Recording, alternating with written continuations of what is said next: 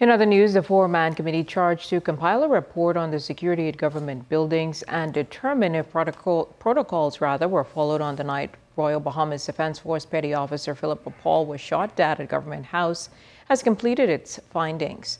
Defense Force Marine Javon Seymour was charged with Paul's murder and the incident raised concern over safety at government facilities. Minister of National Security, the Honorable Marvin Dames, gave the committee four months to investigate and produce its findings, but granted an extension after the body requested an additional month.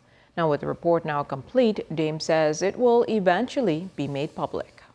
The report has been um, um, prepared and uh, the committee will be sitting down with us very shortly to discuss that. And so we should, I don't anticipate any more this year, but maybe in, in, in January, we should be releasing um, uh, some of the uh, some of the report. I can't highlight anything until I speak to the committee, until they update me on you know on their report. You know, transparency is how we work.